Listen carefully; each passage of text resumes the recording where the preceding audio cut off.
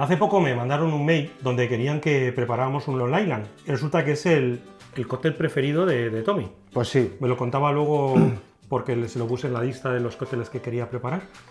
Tiene una historia curiosa, ¿no? Sí, bueno, la historia de, de este cóctel, como otros muchos que tienen su, su historia, este en concreto cuenta la leyenda que en época de la ley seca en Estados Unidos eh, el- el- la gente para poder tomar alcohol pues camuflaba el trago pues eh, de alguna manera para que no le pillara la policía. Entonces en este caso se tomaban un cóctel muy muy fuerte que tiene un, un color así como el té helado y entonces para que, para, para que la policía no, no interviniera pues eh, ellos lo pedían como un, un té helado de, de Long Island. ¿no? Que- que tenía Entonces era un Claro, entonces, ¿qué te estás tomando? Pues un té helado. Y bueno, y ahí viene básicamente la leyenda. Es una manera de camuflar un trago en épocas de, de la ley ¿Y el, tel- el telado también te gusta? También. Aunque no tiene mucho que ver. Bueno, vamos a, a ver qué lleva el Vale, cóctel. el cóctel es bastante potente, lleva los cinco alcoholes blancos, ginebra, vodka, tequila blanco, el ron y luego pues licor de, de naranja, de corteza naranja, que es el gran manía. Un triple seco. Sí, o triple seco, perfectamente. Y luego lleva un componente que es eh, agridulce, eh, que es el pulco de limón y sirope de azúcar. Y para terminar, le lleva un poquito de Coca-Cola, que es ya lo que le da el color este como a marroncito, como a té helado. Y ya te digo, es un- una explosión. de- Pues vamos. Vamos a por Vamos a ello.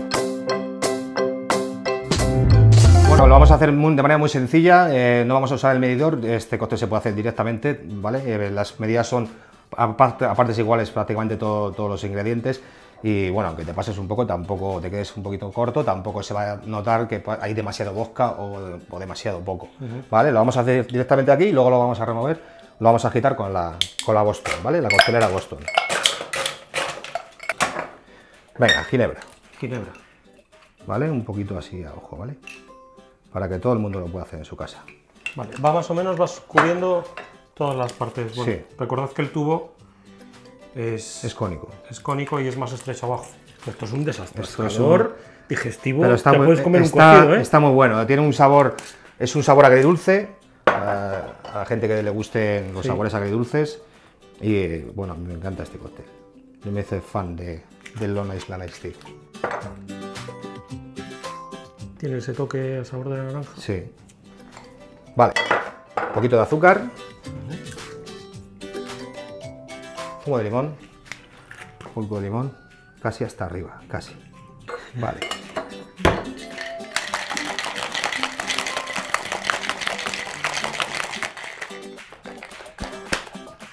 La Coca-Cola se la echas al final.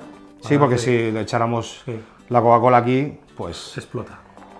pondríamos la cocina pingando. Pues sí, sí Decoramos- que- Sí que, tiene un aspecto. Decoramos con un poquito de una rodajita de limón. Un par de ellas que vamos a poner. Ya lo tenéis, este helado de Long Island. Tengo miedo, ¿eh? Tengo miedo de probar esto. Pero bueno, si Tommy dice que está bueno, Está y muy somos de gustos parecidos. Es fuerte, ¿eh? Es fuertecito. Es un trago largo potente. Lo notas, se nota, sí. Está rico, pues mira. Está muy Esto bueno. la próxima vez, sí, lo pediré. Muy bien. La semana que viene más y mejor. Otro cóctel de rechupete. Portaros bien, sed buenos.